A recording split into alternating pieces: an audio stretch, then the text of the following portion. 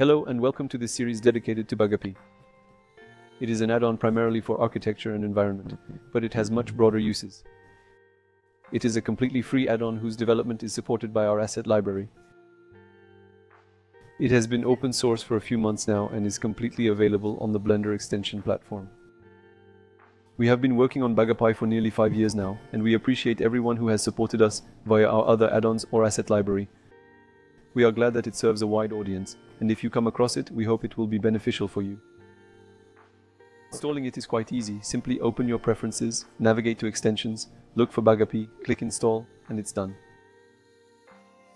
The whole point of using Blender's extension system is to have access to updates with a single click through the same interface. When an update is released, you will just need to click on Update and you will receive the latest features or fixes.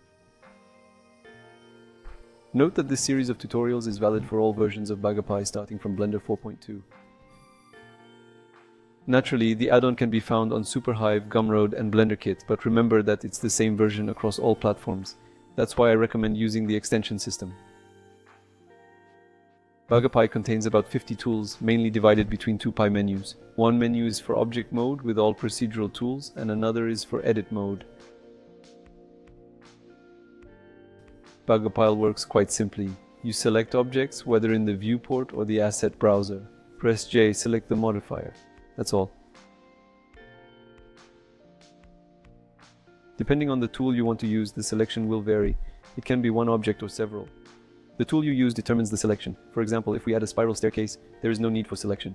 To add ivy, I need to provide a target, which means I have to select a mesh.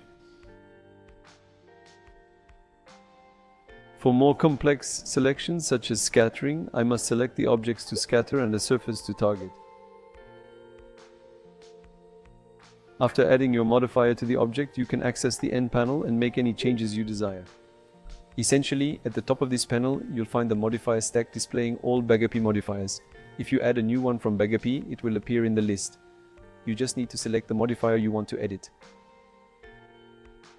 In the modifiers list, you can remove them, manage their visibility, whether in the viewport or in the render, or in some cases apply them, meaning transform them into editable meshes. Naturally, each modifier has a summary in the add-on preferences indicating what to select. A major new feature in this BagaPie version is the addition of a pie menu in edit mode. It is also based on geometry node, except that it only contains tools that once applied cannot be changed later. So go into edit mode, select one or more faces, press D and then select the tool you want to use. Here we will use bool through. As with all other Blender operators in edit mode, once you have executed it and clicked somewhere else, it will no longer be editable, and the property window that appears at the bottom left, which allows for temporary modifications, will disappear permanently. Now let's explore the asset browser. A new feature in this version is the menu for scattering, which is integrated directly into the asset browser. So select your assets, open the menu, and choose a surface in your viewport. Then simply scatter your selection. It's a small panel that gathers the essentials for scattering, but you'll see it in more detail in the dedicated scattering tutorial. To conclude, and because many of you have requested it, the add-on panel can be called up as a pop-up. It's exactly the same panel, it's just a matter of preference. Within the add-on preferences, you will discover GeoPack, settings for changing keyboard shortcuts, and a dedicated assets panel for our asset library. But there is also a setup button to set up the parametric library. This will add to the asset browser a new BagaPie modifier library filled with various BagaPie presets.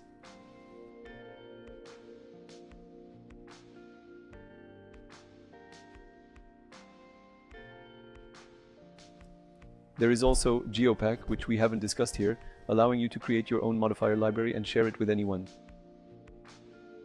See you in the next tutorial about the object mode pie menu. Thanks for your time. If you have a few minutes, check out our other add-ons and assets. I hope BagaPie helps you. Thanks.